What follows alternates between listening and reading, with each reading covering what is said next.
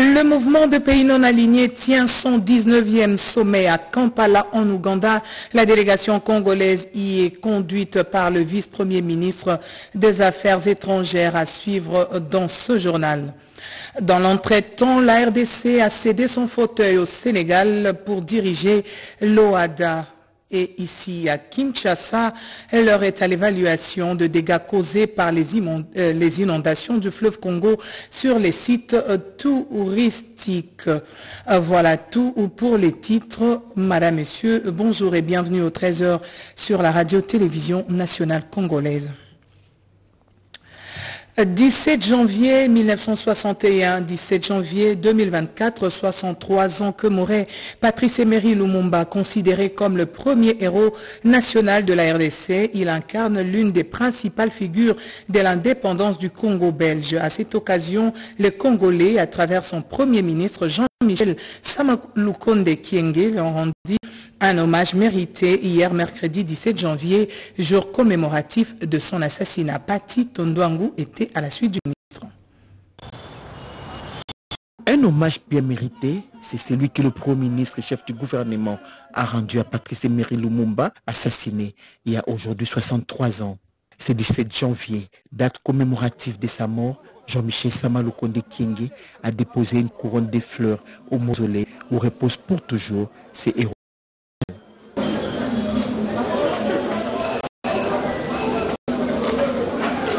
Les retours de la dépouille de ses pères de l'indépendance sur la terre de ses ancêtres, la République démocratique du Congo, grâce à l'implication du chef de l'État Félix-Antoine Tshisekedi Chilombo, un acte loué par les chefs du gouvernement qui pensent que le Congo est aujourd'hui en train d'écrire son histoire telle qu'évolue par Patrice Emery Lumumba. Le 17 janvier nous rappelle euh, ces héros nous avons, Patrice Emery Lumumba, le premier Premier ministre de la République démocratique du Congo, et ici, je viens d'abord au nom euh, du gouvernement pour euh, l'honorer, mais surtout rappeler cet acte important posé par le président de la République, son Excellence Félix Antoine Tshisekedi Chilombo, qui aura permis le retour de ce héros national sur la terre de ses ancêtres. L'année passée, nous avons été ici pour commémorer ce premier anniversaire depuis son retour Aujourd'hui, euh, il était de bon aloi que nous revenions pour l'honorer. Et pour moi, c'est un double honneur parce que j'honore euh, le premier d'entre nous, le premier Premier ministre de la République euh, démocratique du Congo. ici, je souhaite vraiment que son sacrifice soit connu de tous, qu'il soit un exemple pour notre jeunesse, pour tous les Congolaises et les Congolais, en ce qui concerne notre pays, notre indépendance et surtout notre avenir glorieux. Il a dit euh, le Congo doit écrire euh, son histoire et je pense que c'est ce à quoi nous sommes à l'œuvre maintenant. Le souhait du Premier ministre Jean-Michel Samaloukonde Kienge est que le sacrifice suprême de ces héros nationaux pour l'indépendance de la République démocratique du Congo soit connu de tous. Plusieurs personnalités ont rehaussé de leur présence la cérémonie, dont quelques membres de la famille biologique de Patrice Emery Lumumba et de M. Laurent Désiré Kabila, ainsi que quelques membres du gouvernement. Euh, justement en rapport avec la commémoration du 63e anniversaire de Patrice Emery Lumumba, à l'époque, l'ancien président euh, ministre lançait l'alerte de menace de balkanisation qui pesait sur la RDC et appelait à l'unité de Congolais pour euh, faire échec. La question est de savoir si l'alerte de Patrice Emery Lumumba avait valeur de prédiction. C'est l'essentiel de la chronique signée Odilon Kayuma. Vers les années 60, Patrice Emery Lumumba voyait juste, sinon loin, les menaces des balkanisations qui pesaient sur la RDC. Déjà, à l'époque, l'ancien Premier ministre avait lancé l'alerte élever le voile sur les pays ennemis dans un réseau diabolique déterminé à charcuter les géants Congo et à mener une prédation de ses richesses pays dont la convoitise de la prospérité congolaise n'est fait l'ombre d'aucun doute. C'est un secret des polichinelles et parmi les pays ennemis aux velléités machiavéliques et expansionnistes, massacres, vols, détruits, humilient à l'est de la RDC, figure le Rwanda. certes appuyé par les laboratoires obscurs et certaines multinationales qui donnent des ordres au Rwanda pour exécuter la sale besogne, celle d'exproprier les terres congolaises de l'Est du Congo-Kinshasa. Cela en toute violation des règles internationales sur l'intangibilité des frontières, sous un silence coupable de la fameuse communauté internationale. Devant un tel tableau sombre et triste, faut-il appeler Patrice Emery Lumumba, prédécesseur lanceur d'alerte ou prophète, avec une vision de l'aigle, avait vu loin les dangers des balkanisations et qui guettait la RDC. Comment les différents pouvoirs depuis 30 juin 1960 jusqu'à ces jours ont-ils réagi au propos du fils des Katako Kombe? Voilà autant d'interrogations non seulement doivent constituer une interpellation vis-à-vis de tout un peuple, mais aussi un avertissement, pas le moindre, aux décideurs politiques pour une conscience collective. Il est donc impératif que les Congolais taisent leur querelle en faisant un bloc autour du président de la République, Félix-Antoine Tshisekedi Chilombo, pour bouter d'abord hors du territoire national l'armée rwandaise, y compris ses supplétifs du M23, ses ennemis de la paix qui menacent notre existence commune. Et les partisans du mouvement national congolais Lumumba, créé par le tout premier ministre, ont adressé un message de l'unité nationale pour pérenniser la vision de Lumumba pour le Congo. Ils l'ont fait savoir ce 17 janvier lors du recueillement au mémorial Lumumba. L'échangeur délimité Rodépanda nous en dit plus.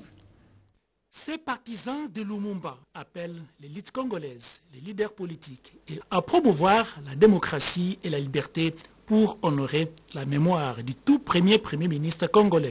Tout Congolais se souviendra toujours de l'unité nationale, de l'intégrité territoriale dans la justice et la paix retrouvée.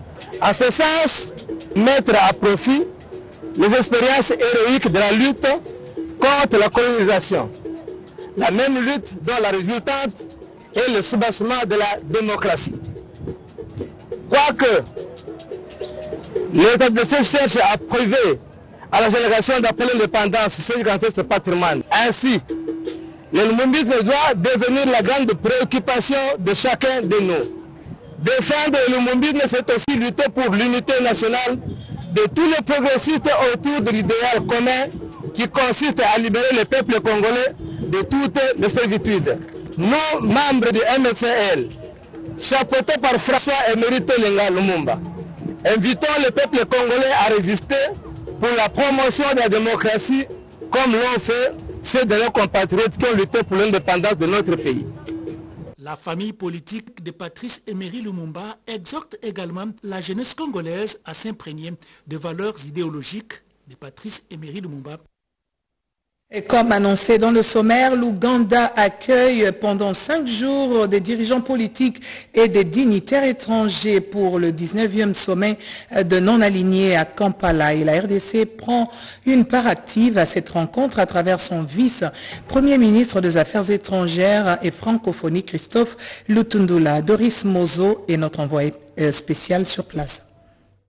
Plus de 60 ans depuis sa création, le mouvement des pays non alignés tient son 19e sommet à Kampala en Ouganda. 120 pays membres, 28 chefs d'État et de gouvernement sont attendus au pays de Yoweri Museveni pendant cinq jours, ils vont aborder les questions de l'insécurité alimentaire, le changement climatique, le financement du développement et la question de la dette.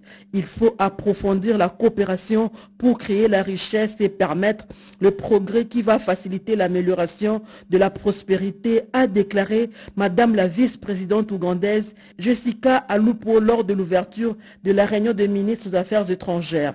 Le vice-premier ministre ministre des Affaires étrangères et francophonie, Christophe Lutundula Apala, qui conduit une importante délégation à ce sommet, a pris la parole et a fait entendre la voix de la République démocratique du Congo. La RDC prône le renforcement de la démocratie, tant dans le pays qu'au sein des institutions internationales.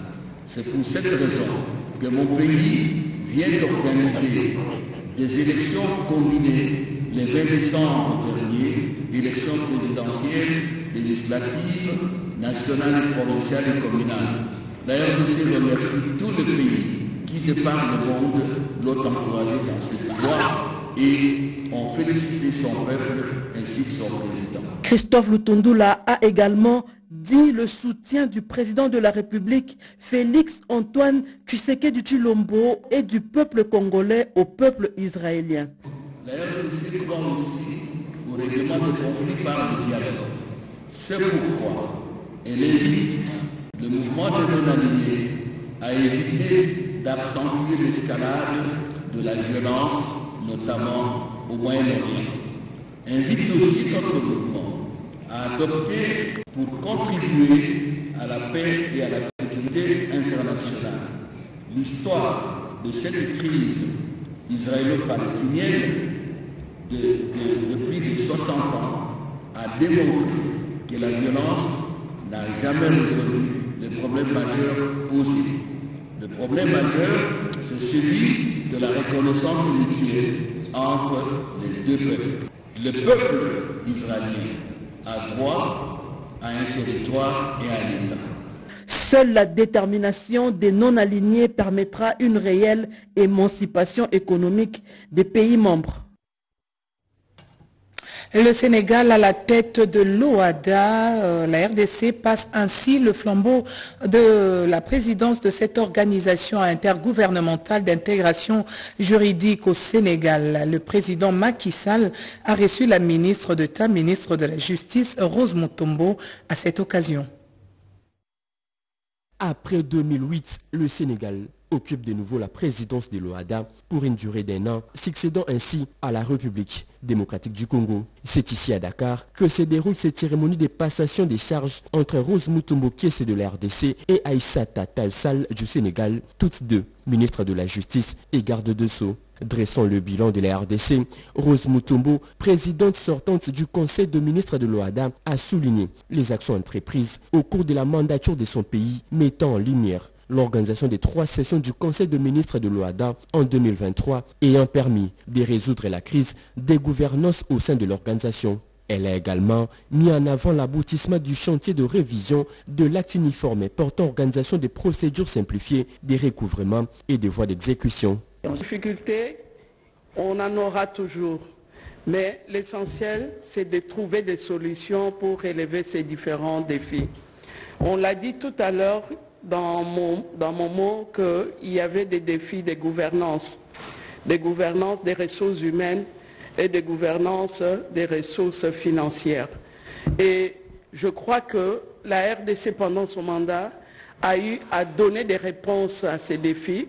Mais comme ces défis sont énormes, j'ai laissé une partie de travail à ma sœur Aïsata pour qu'elle puisse l'achever. Le Sénégal, de son côté, a rendu hommage à la RDC pour son action à la tête de l'organisation tout au long de l'année 2023 en soulignant l'honneur et la responsabilité qui incombe désormais au pays des Macky Sall en prenant la présidence de l'organisation pour une seconde fois. Les différents messages de félicitations adressés aux chefs de l'État par les États du monde et une reconnaissance internationale de la diplomatie agissante menée lors du premier quinquennat. Le coordonnateur euh, du Conseil présidentiel de veille stratégique, François Mwamba, appelle à consolider les acquis. Extrait choisi par Robert Ndayechi Sensei. Euh, François Mwamba, c'est très bien de faire cette, euh, cette démonstration. On a vu après la réélection du président de la République, c'est pratiquement la communauté internationale qui félicite le président réélu. Nous espérons que le 20 décembre, beaucoup de chefs d'État seront ici. Est-ce que c'est une garantie pour que, à côté de la guerre, il y a aussi cet aspect diplomatique Pour vous, est-ce que ça vous rassure? Mais d'abord, je voudrais euh, nuancer ce que tu viens de dire, cher Robert.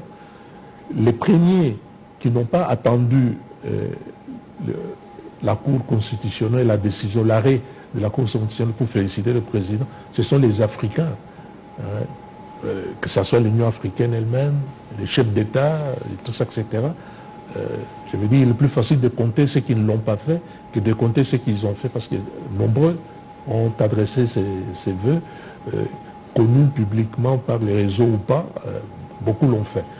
Maintenant, nous sommes entrés dans la phase de, la communauté internationale au sens euh, Europe, États-Unis, Chine et tout ça, etc. Euh, là, si ça a pris un peu de temps, je sais pourquoi, c'est puisque pour eux, euh, la, confirmation de l'élection par la Cour était un élément d'appréciation essentiel.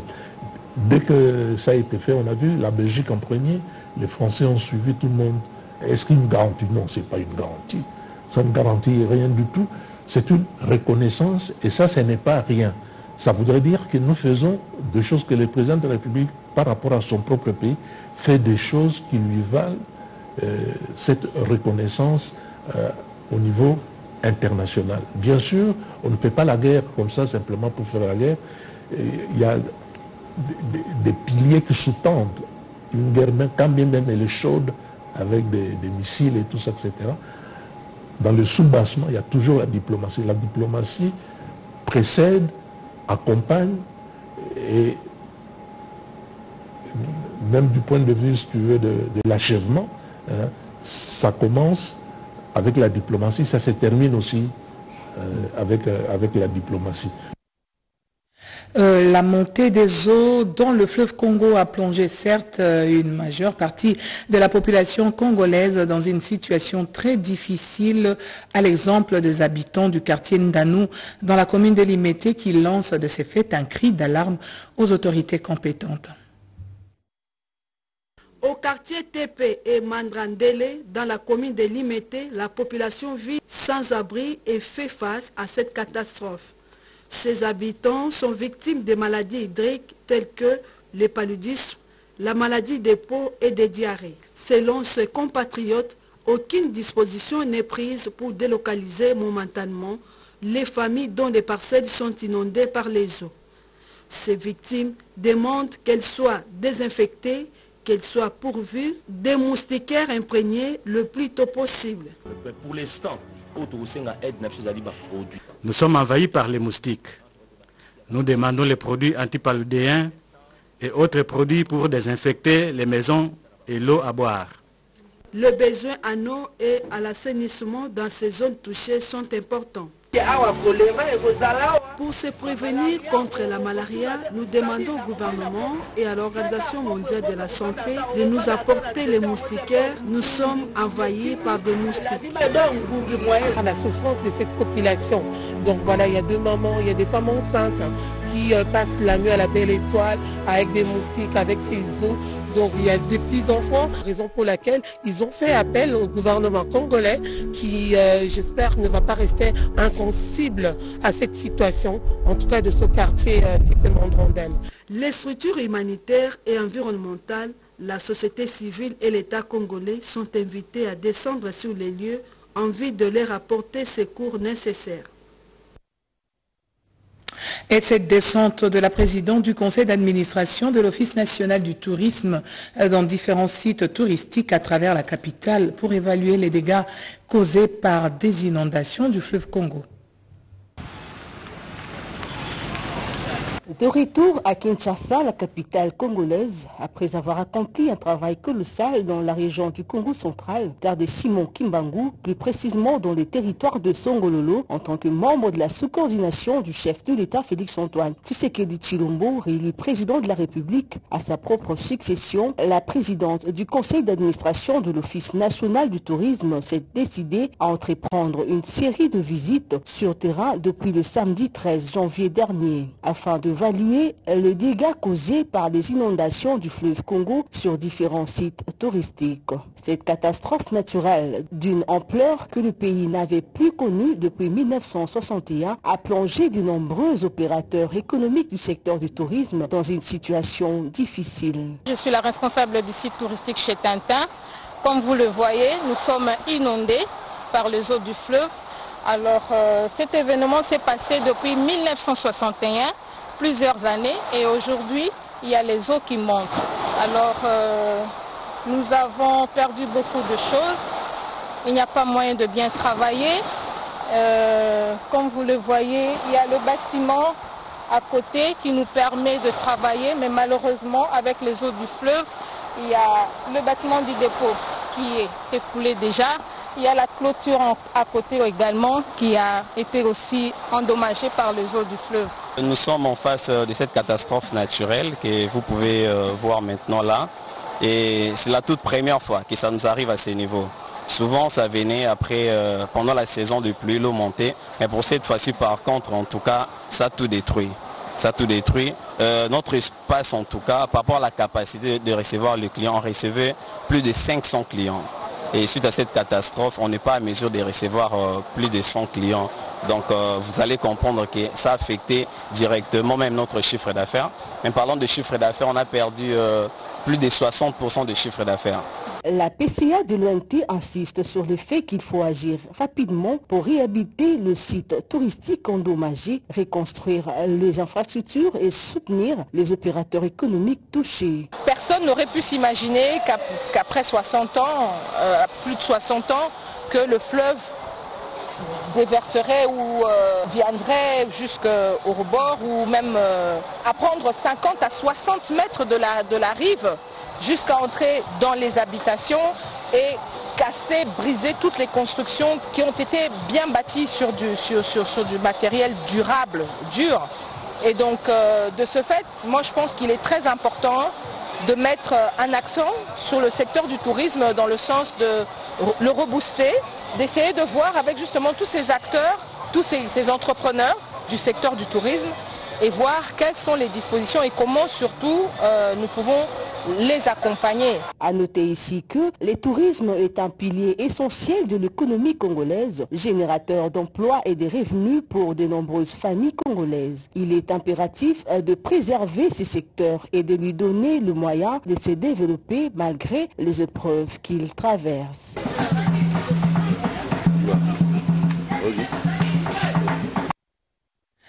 Et de leur côté, les habitants de la zone annexe de Kacha sollicitent l'implication du garant de la nation pour faire de leur entité une commune. Gaëtan Magalano, Oscar Mbal nous en disent plus dans ce reportage. La réélection du président RD congolais Félix Tshisekedi pour un second mandat à la tête de la RDC suscite deux attentes. La dernière en date, c'est celle de la population de l'ex-zone annexe de Kacha dans la ville de Bukavu au Sud Kivu qui sollicite l'implication du garant de la nation au sujet du statut de leur entité administrative. Clairement, à l'évolution de toutes les autres zones annexes de villes créées en 1958, qui ont été progressivement érigées en communes sur toute l'étendue de la République, seul Kacha n'a pas bénéficié de ce statut.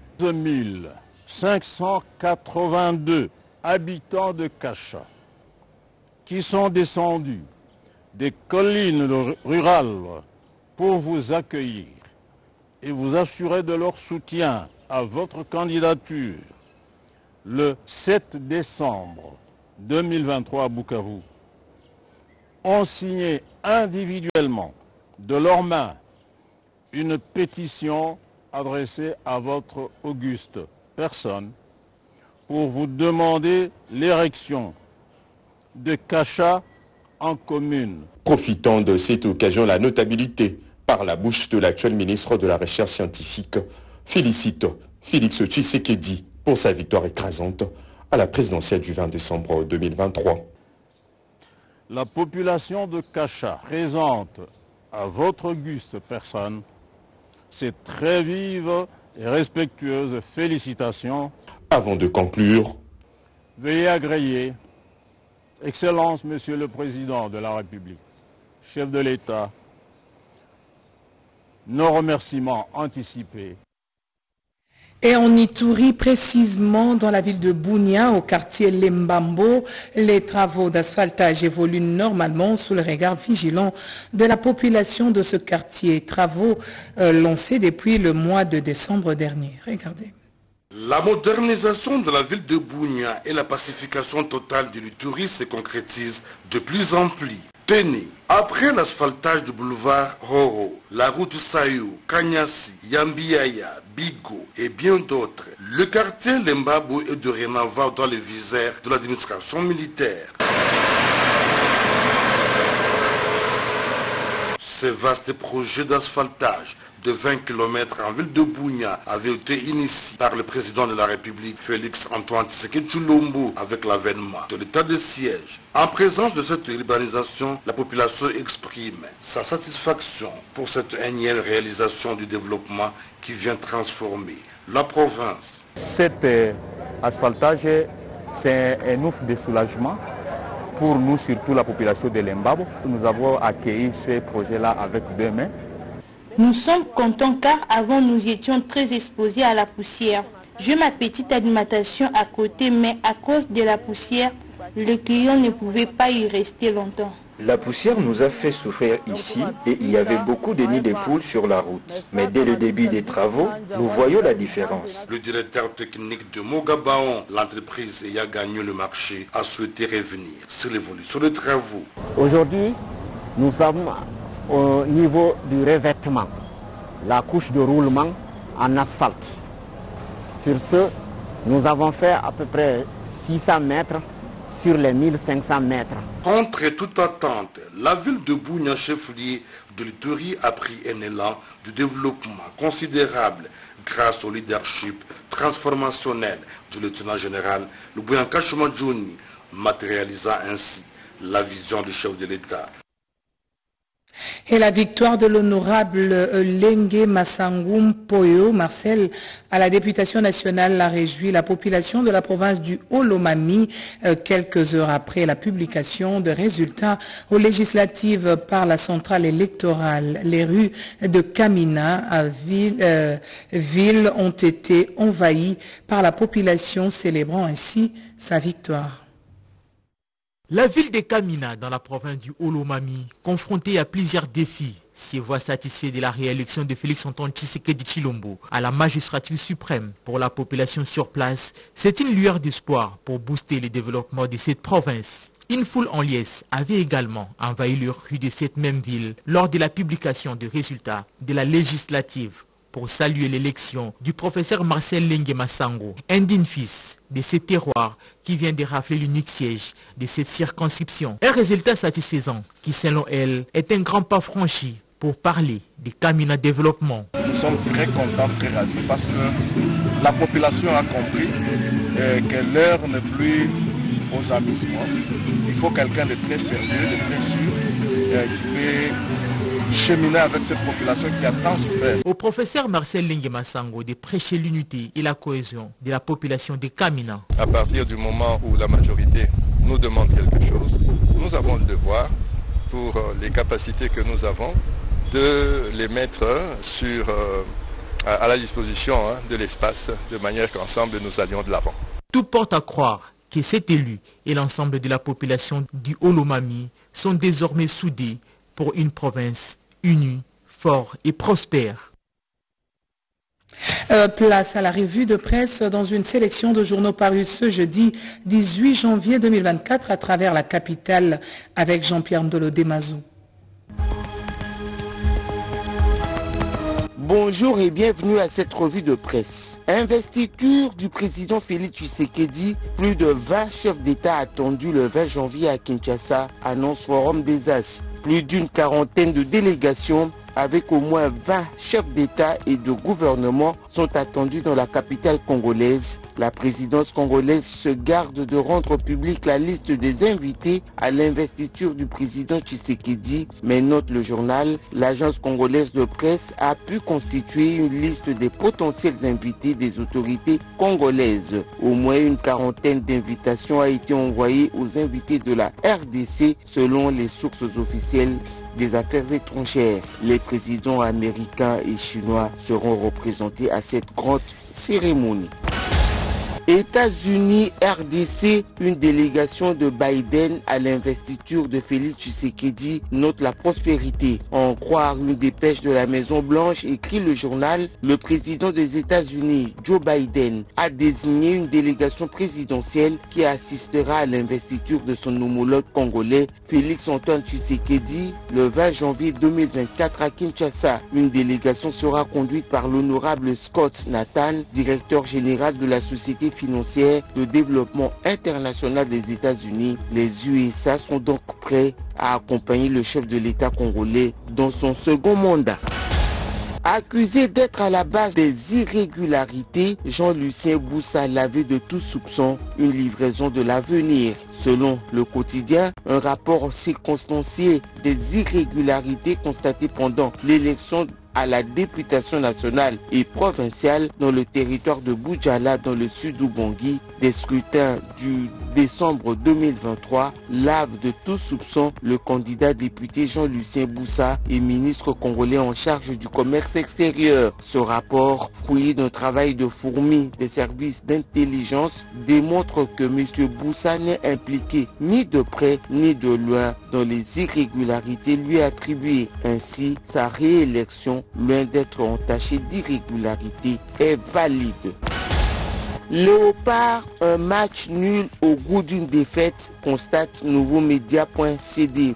C'est le moins qu'on puisse dire de la rencontre ayant opposé la RDC à la Zambie dans le cadre de la première journée de la phase finale de la Cannes. Devant un adversaire prenable, dominé des épaules aux pieds, les Léopards ne sont pas pourtant parvenus à venir à bout des Chipopolo de la Zambie. Score final un but partout. Les Léopards se compliquent ainsi la tâche de se relancer dans ce groupe archi dominé par les Lions de l'Atlas du Maroc. Cannes 2024, la prestation de Dajou à la cérémonie d'ouverture, une autre prouesse de l'art congolais, affirme Premium. Les artistes chanteurs congolais sont de plus en plus sollicités pour de grandes manifestations du football mondial. La dernière prestation est celle livrée par Dajou Djouna samedi 13 janvier à Abidjan au stade Alassane Ouattara à la cérémonie d'ouverture de la 34e Coupe d'Afrique des Nations. Des valeurs ajoutées à la culture congolaise, tant Dajou et Gims sont des ambassadeurs de la rumba congolaise. Euh, vous avez compris, certes, que c'est la fin de ce journal euh, coordonné par Marthe Manganza. Kalala et réalisé par Nasha Kumpava. Merci également à toute l'équipe technique. L'actualité reste en continu sur nos antennes. Merci et excellente suite de programme à tous.